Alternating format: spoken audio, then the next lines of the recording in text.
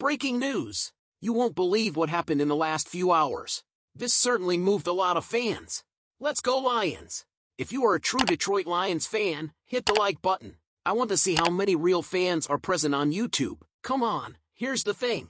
Detroit Lions fans have a unique relationship with the team's ownership, the Ford family. Over the years, they have been highly critical of the family's management as the organization has struggled to achieve success for decades.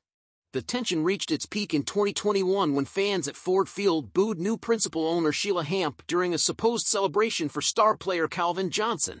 The event turned into an opportunity for fans to express their dissatisfaction with how Johnson was treated when he retired and to vent their frustrations.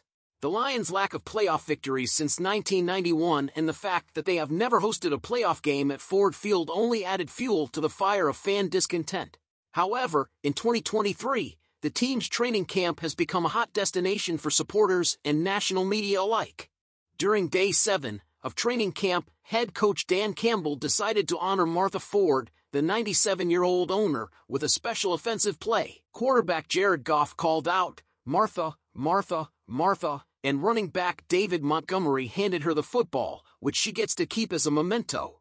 This gesture elicited mixed reactions among fans. While some embraced the move as a sign of positivity and a step towards acknowledging the team's history, others took to social media to question why they would honor an owner associated with past struggles.